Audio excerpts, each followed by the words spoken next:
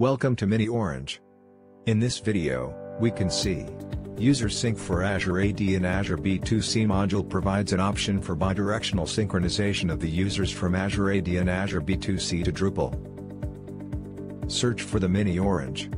Enable both the checkboxes. And click on the Install button. Now, click on the Configuration tab. Select miniOrange Azure Sync here. Click on the Let's Configure the Module button. In step 1, there are two ways to perform the sync. Let's start with the first. Select the Drupal to Azure AD synchronization. Let's configure Azure application. Log in with Azure AD credentials. Select the Azure AD here. Navigate to the App Registrations tab from the left side menu. Click on New Registration. Enter the app name. And click on the Register button. Go to the API Permission tab from the left side menu.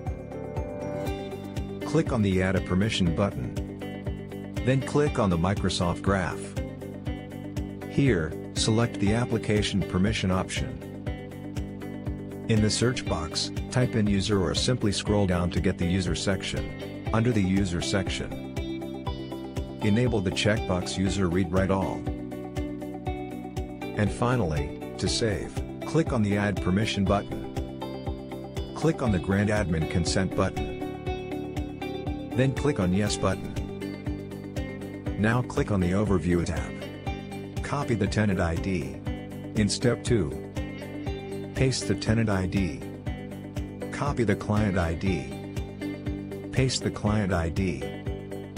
Now, Go to the Certificates and Secrets tab. Then click on the New Client Secret button. Enter the description as secret key. And click on the Add button. Copy the secret value. Paste the copied secret value in Client Secret text field. Hover on your profile in top right corner and copy domain name. Paste the domain name in the tenant name text field. Navigate to the Users tab. Search for the user. And copy the user principal name. Paste the user principal name in the test UPN text field. And click on the Save and Test Configuration button. Click on the Here link, to view the attributes list.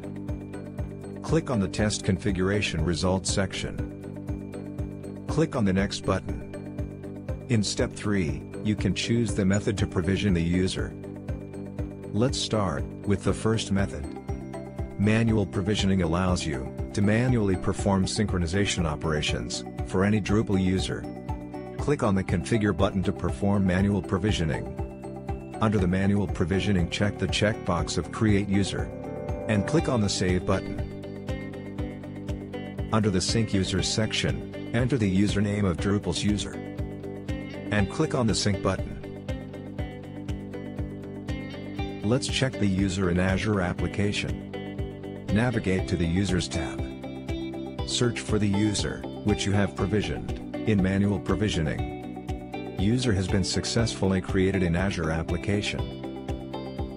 Automatic provisioning allows you to automatically perform provisioning operations when any user CRUD operations are performed on Drupal.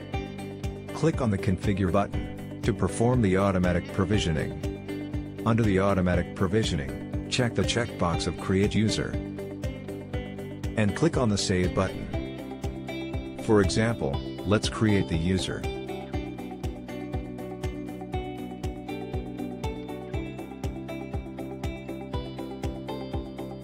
Let's check the user in Azure application. Navigate to the Users tab. Search for the user, which you have provisioned, in automatic provisioning. User has been successfully created in Azure application. If you have any questions or queries related to the Drupal Azure Sync module, you can reach out to us by clicking on the support icon present in the bottom right corner. miniOrange provides best user sync and provisioning solutions, thanks for watching.